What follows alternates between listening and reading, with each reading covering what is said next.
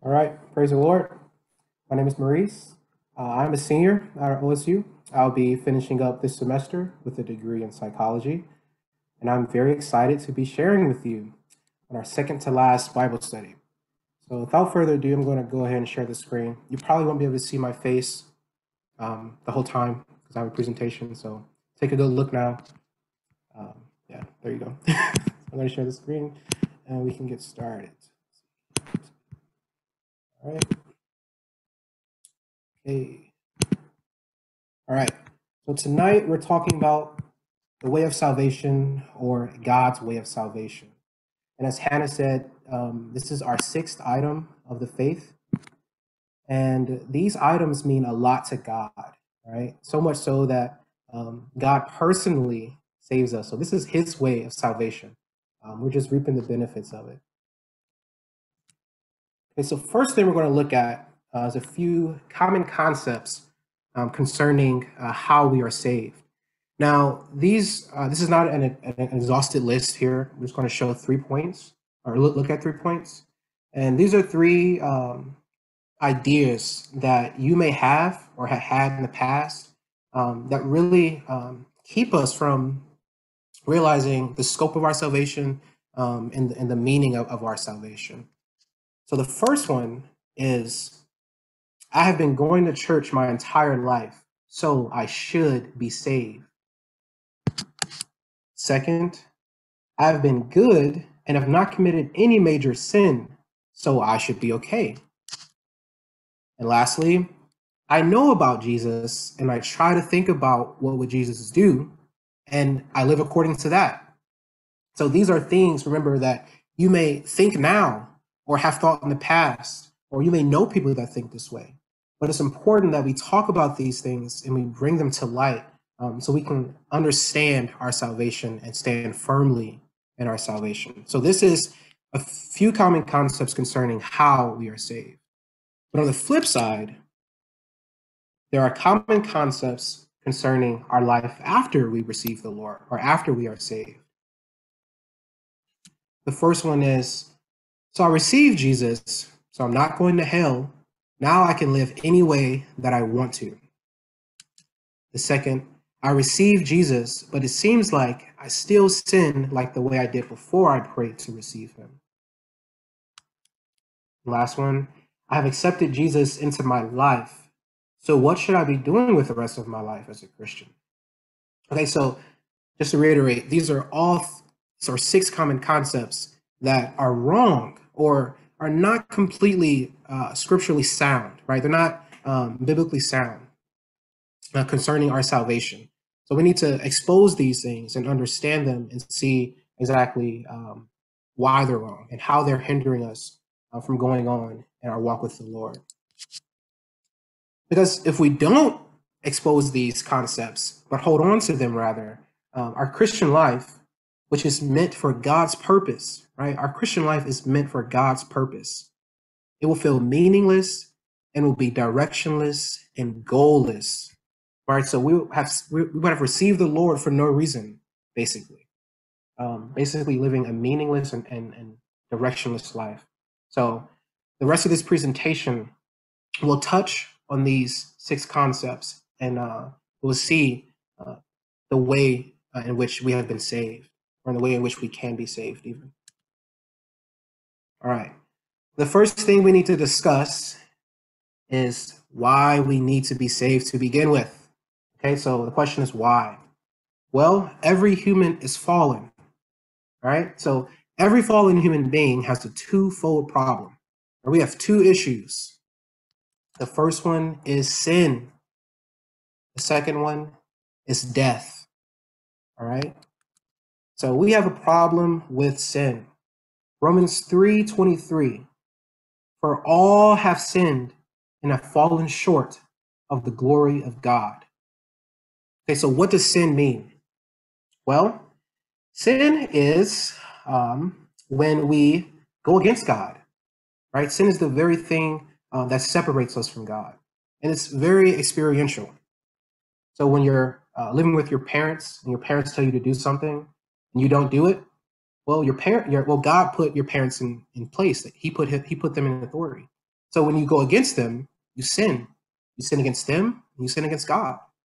When you break the law, right? God put uh, the government in place, right? He gave, he put us under authority, and when we go against the law, we we sin against um, the law, and we sin against God.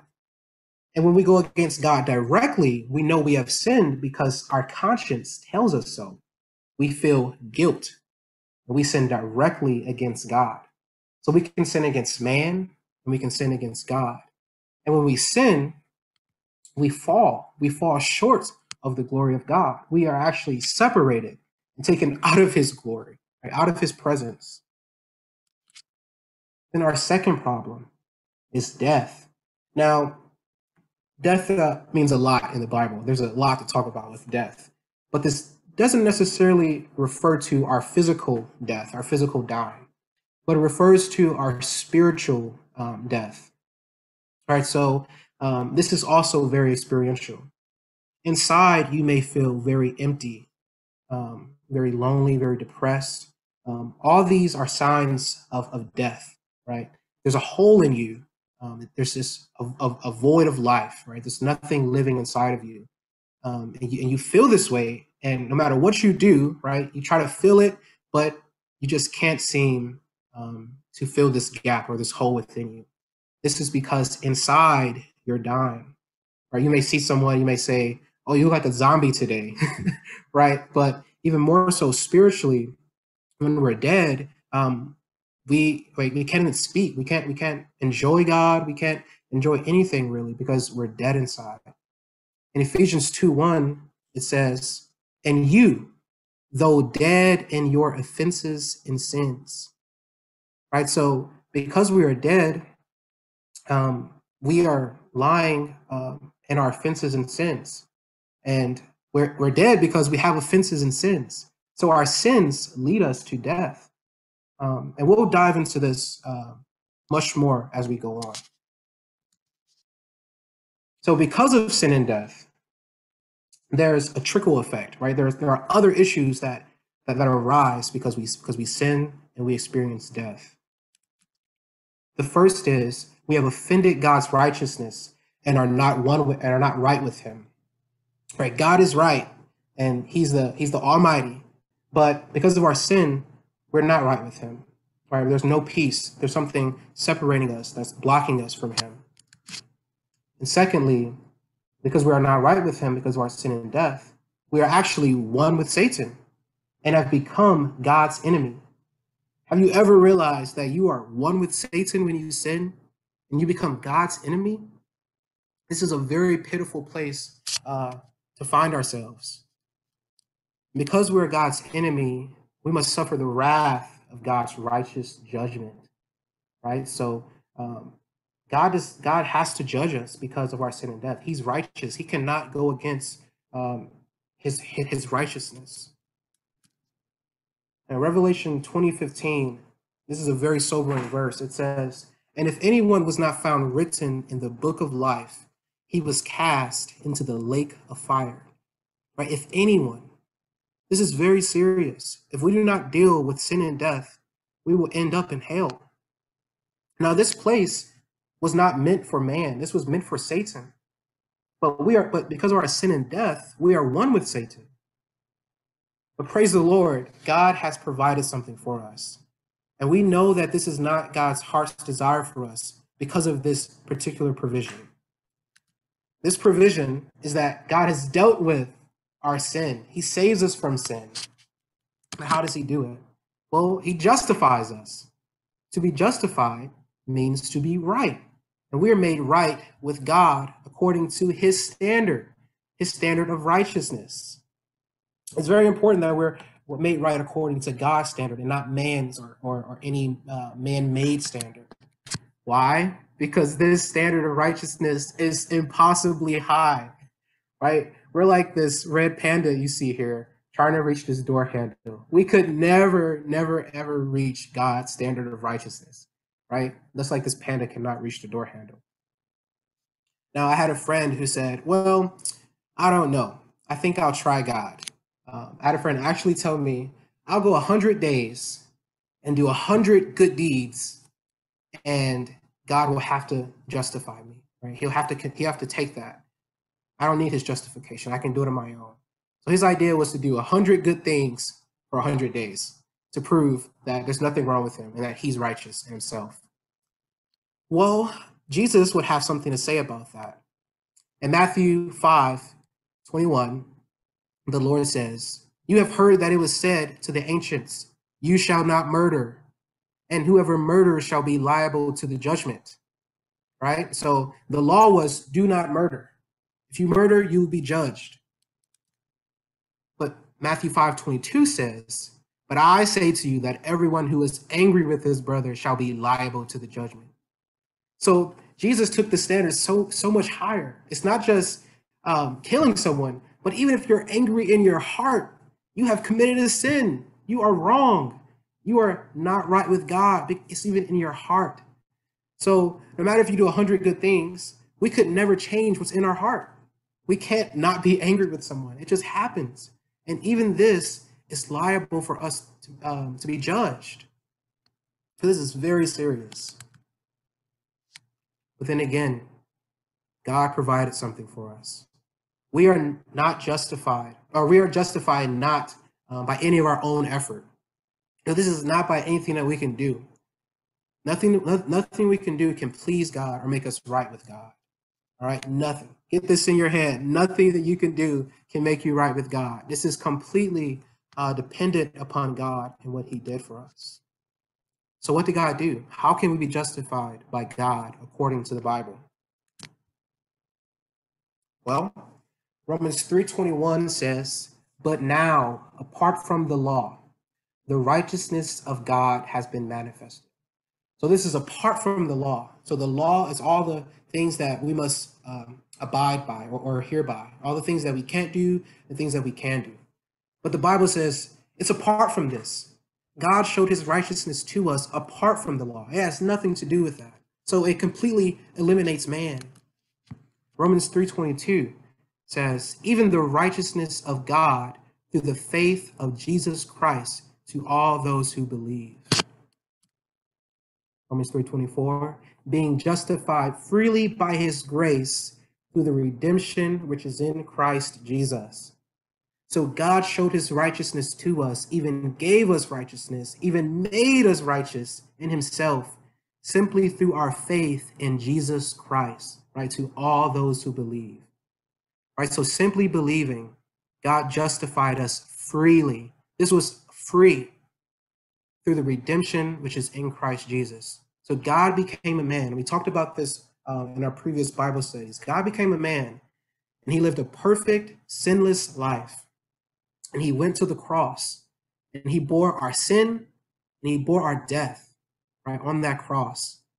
And when we believe in him, we receive justification freely and righteousness freely.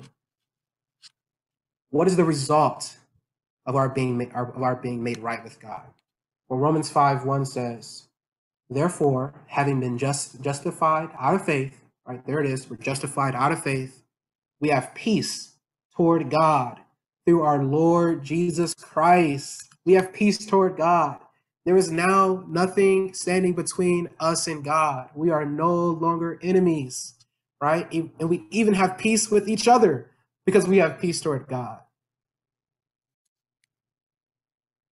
But how do we receive this? So God has made this provision for us. How exactly do we receive it? Now, we said something about believing.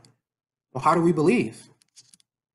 Romans 10 13 says, for whoever calls upon the name of the Lord shall be saved. The Bible actually says to call upon the name of the Lord. You have to say, Oh Lord Jesus, save me. And Acts 4:12 just backs this up. It says, and there's no salvation, there's salvation in no other. Salvation in no other. For neither is there any other name under heaven given among men in which we must be saved. So we can only be saved in a name, and that name is Jesus Christ. When we say, Oh Lord Jesus, save us, we're saved. That's it. Praise the Lord for this. This is amazing. All right. Now, being saved from sin is wonderful. That's the first thing that God did. He saved us from sin. We still have that death problem, right? That's our second issue. So, did you know that there is much more? there is so much more to what God did for us. And this is actually the most important aspect. And this will touch um, the concepts that we have about what we should do with our Christian life, um, or, or why we're saved, or what are we saved for. And it'll even touch the issue of us feeling like we haven't been changed. So Romans 5:10 says, "For if we, being enemies, were reconciled to God through the death of his son." So we were enemies, but we've we've been reconciled, right? We're no longer one with Satan. Much more we will be saved in his life, having been reconciled. Much more will we be saved in his life. So what does this mean in his life? Okay, so after believing into Jesus, we are also born of God to receive his life and nature to become God's sons. Yes, I said it. You are a son of God. It's true. You can declare it, you can proclaim it. You are a son. When you believe, when you call upon his name, he came into you as life. You received his life and nature. You were born again. Hallelujah. John 1:11 says, "But as many as received him, to them he gave the authority to become children of God. You have the authority, and no one can take this from you.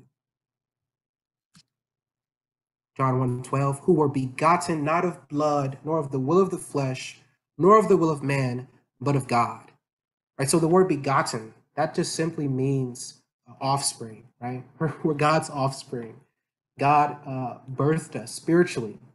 And this was not of blood, not of the will of the flesh, nor of the will of man. This was not something in yourself, not something and your parents or um, uh, just just by going to church and, and hearing, but but of God. When you believe, when you called upon His name, God came into you. God worked out this salvation and gave you His life and nature. So, as children of God, what do we do? Well, we need to spend the rest of our lives as Christians to allow his wonderful life in us to grow. Okay? So you're wondering why why I haven't changed? Why do I feel still so low in my Christian life? Why, do, why does it still look like I am not any different than before? Well, don't worry. You just have to grow, right? Just like this little baby, right? We have to grow in this life. We weren't born full adults, right? We were born babies. The same way spiritually, we were born as babes. And First Peter 2 2 says this As newborn babes, long for the guileless milk of the word, in order that by it you may grow unto salvation. Right? This is the part where we're saved much more in his life. When we enjoy this life, when we're reading the word, when we're reading the word with our other friends who are Christians, and uh, when we're meeting together as Christians, we are growing unto salvation. This is dealing with our death. This is dealing with the emptiness we we experience within. God is filling that that that hole in us with his life. Right? He is spreading in us as life, and we are growing unto salvation each day, day by day, bit by bit. Okay. So the Christian life, once again, is not a life of trying to be good and waiting to go to heaven. This is very important. We need to realize this. Your Christian life is not a life of you trying to do many good things. It is good to do good, but it doesn't save you, right? And just waiting to go to heaven is so much more, right? This is the much more. God gave you his life to experience now. You don't have to wait to go to heaven to experience God's life, right? Our Christian life is a life of allowing God's life to grow within us unto maturity. I, I have such a problem with this. I always feel like um, I just need to be grown up already, right? I try to rush the process, but this is so slow. This process is day by day and bit by bit, bit by bit until maturity. Now, if you look down down at the right, um, there's a little diagram. So this is you here, right? You're a body, you're a soul, and a spirit. Now, this is this is what happened when you believed into Jesus. All right, God came into your spirit. He came into your spirit. This is where he is right now. In your spirit. I'm over time. I'm going to finish up very quickly. Uh, God came into your spirit. And as you enjoy Him, as you enjoy this life, what is He doing? He is spreading from your spirit to your soul and your body. So you will eventually, you will eventually express Him. You will grow into maturity if you let this life spread in your being. All right, we will grow into maturity until we become the same as He is. Praise the Lord. First John 3 2. Beloved, now we are children of God, and it has not yet been manifested what we will be. But we know that if he is manifested, we will be like him because we will see him even as he is. Hallelujah. We will be like him. You don't have to worry. You will be like him if you let this life spread in you. Okay. Now, day by day by day, we're still human. We're st- we still mess up. We still make mistakes, but it's okay. God has made a way once again. If we confess our sins, He is faithful and righteous to forgive us our sins and cleanse us from all unrighteousness. This is so important. This is actually probably one of the biggest things, right? He is faithful and righteous. Remember, God cannot go against his own righteousness. If you confess, he has to forgive you. He has to cleanse, he has, he have to cleanse you. You can go on growing and enjoying this life if only you confess your sins. Amen. Praise the Lord. All right. This is the very last slide. This is the very last bit. Um, we're just going to sum up what God has done. All right. So this is God's complete salvation. Salvation is a long bridge. All right. Initially, when you when you were saved, when you believed into the Lord, He cleansed your sin. He forgave you. This is you getting on the bridge, right? Your initial salvation. So you're all the way over here. You still have your whole life to live. Well, our life's journey is being saved much more in the life of God, right? Each day, we're growing and becoming more like Him. We're walking this bridge, right? Saved in His life. Amen.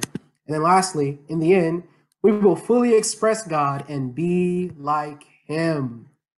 Hallelujah. Praise the Lord. So, that is the presentation. I hope uh, that you gained a very deep appreciation uh, for your salvation. Amen.